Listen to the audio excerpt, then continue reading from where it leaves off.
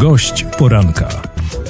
Katarzyna Kosińska, witam i zapraszam na audycję Gość Poranka. Dzisiaj w naszym studiu jest poseł na Sejm RP, pani Anna Cicholska, pełnomocnik powiatowy Prawa i Sprawiedliwości z kompetencjami Zarządu Powiatowego. Dzień dobry, witam.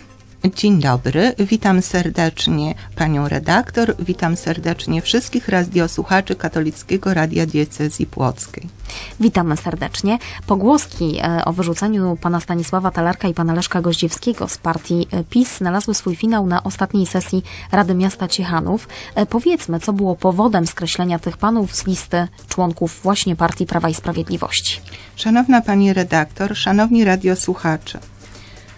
Komitet Polityczny Prawa i Sprawiedliwości na wniosek pełnomocnika okręgowego Prawa i Sprawiedliwości oraz na podstawie artykułu 41 ustęp 1 Statutu Prawa i Sprawiedliwości postanawia wykluczyć pana Leszka Goździewskiego z partii Prawo i Sprawiedliwość. To jest uchwała numer 13 łamana na 27 łamana na 05 łamana na 2016.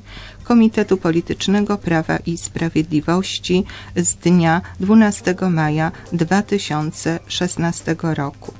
E, ta uchwała e, jest zgodnie z artykułem 41 ustęp 2 Statutu Prawa i Sprawiedliwości i ta uchwała dotyczy e, pana Leszka Goździewskiego.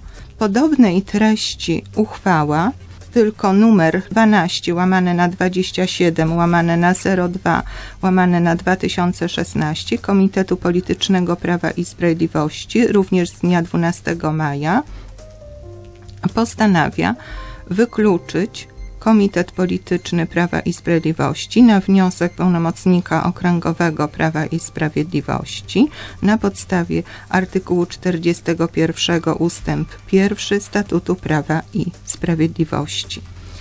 I w tym przypadku uchwała nr 12 dotyczy pana Stanisława Talarka. Obydwie, obydwie uchwały są podpisane przez prezesa Prawa i Sprawiedliwości Jarosława Kaczyńskiego. Czy może nam e, pani poseł powiedzieć, e, co to są za artykuły, czego, czego dotyczą, bo tak same liczby nic nam nie mówią. Komitet Polityczny Prawa i Sprawiedliwości powołuje się na artykuł 41. E, to jest wykluczenie członka i zakaz pełnienia funkcji.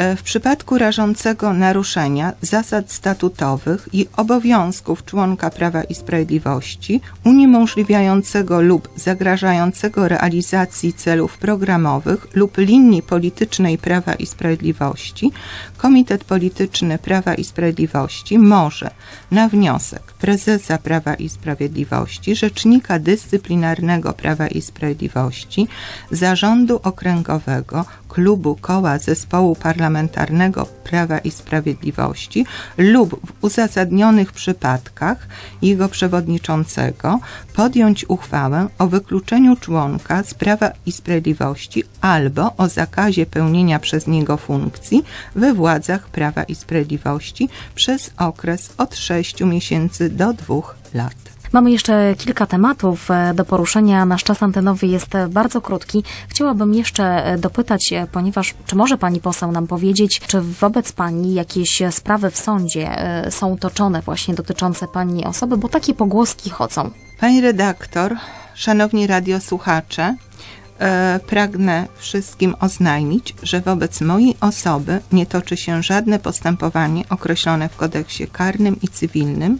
Mam oświadczenia e, z poszczególnych sądów i z prokuratury i dementuję te nieprawdziwe informacje, które są rozpowszechniane na temat mojej osoby.